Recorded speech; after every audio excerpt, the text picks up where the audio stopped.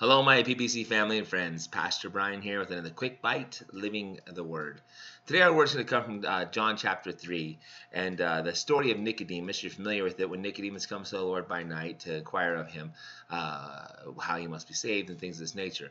Uh, but why this stood out to me, or what made me think of this passage this morning in particular, is it's a pretty uh, blustery day outside today here. Uh, it's pretty windy. wind's been pretty powerful all night long, actually. And so I just, as I thinking about the wind, I thought about this passage, and I thought about how appropriate it is for us and a lot of the things we've been discussing lately, uh, be it in our services or be it uh, here on the Quick Bites, about our lives and what they represent and stuff like this. And the Lord brought this passage back to mind, thinking about the wind.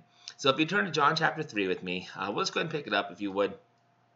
Uh, verse uh, 3, we know uh, kind of what's going on here, right? Actually, pick, up, pick up verse 4. And it says, Nicodemus saith unto him, how can a man be born when he is old? Can he enter the second time into his mother's womb and be born? Now, here's the point. Basically, Jesus said, unless a man be born again, he cannot see the kingdom of God. We understand that. And now, well, how can he be born again? And Jesus goes on to answer. And he says, Verily, verily, I say unto you, and except a man be born of water and of spirit, he cannot enter the kingdom of God. That which is born of flesh is flesh, and that which is born of spirit is spirit. Marvel not that I said unto thee, Ye must be born again. Now I want to pause here for one second because this is so vital. Understand that you must be born of the flesh and of the spirit to see the kingdom of God. And here's the point. Um, that was born of flesh is flesh, that was born of spirit, uh, the spirit is spirit. You must be born again to see the kingdom of God. Well, how do you become born again? Born again is not by the flesh. And what I mean by that is this growing up in a home of a uh, believing home, growing up with, a, uh, with, with, with uh, spiritual parents, growing up going to church, growing up in situations like this does not save you. What saves you is when you come to the saving knowledge by the Spirit of God in Jesus Christ through his death, burial, and resurrection, and nothing else. No, you don't have to do anything. You don't have to perform a certain way. You don't have works that you have to do.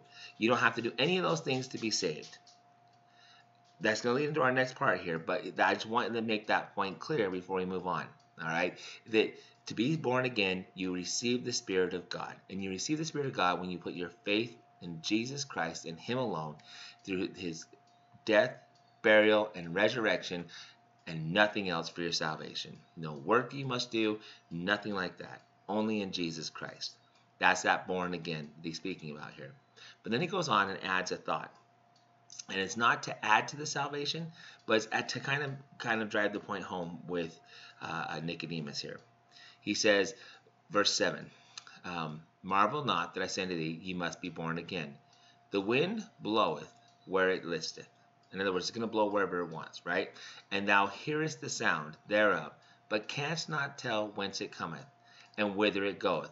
So is every one that is born of the Spirit. Here's the point. The wind blows, now, we, we can't see the wind. We don't necessarily know exactly where the forces of the wind are coming from. Oh, we can look at our meteorologist and say, well, the, this cold front and this warm front are coming together and we're going to have windy weather because of that. Yeah, you know, they might know why things are happening, but they don't know exactly where it's happening. They don't know where it's coming from, and they don't know who's controlling those things. We do, of course. But all that to say this, what is he really driving at? The point is, you can't see the wind, but you can certainly see the effects of the wind. So when we become born again, we may we can't see whether or not someone is saved. We can't. I can't tell you anyone 100% is saved aside from myself. I know whom I have believed. I know who I've trusted in. But you can see the effects of the wind.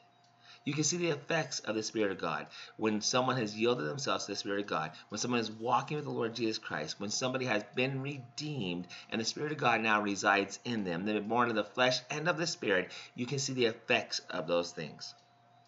The effects of those things are going to bring about a peace that they may have, a joy. It's going to bring about all those the the the the, the uh, when we read about the the uh, fruits of the spirit in the book of uh, Galatians, it's going to bring about all those things love, joy, peace, long suffering, meekness, right? Humbleness.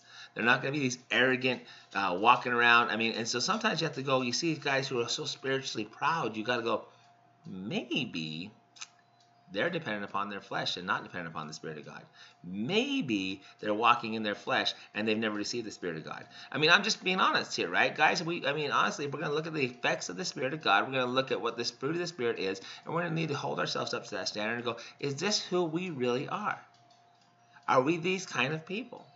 Because we should, just like we can see dust in the wind, just like we can see a flag blowing, just like we can see a sail moving across the ocean, just like we can hear the bells chiming if we have wind chimes outside, just like, you understand what I'm saying?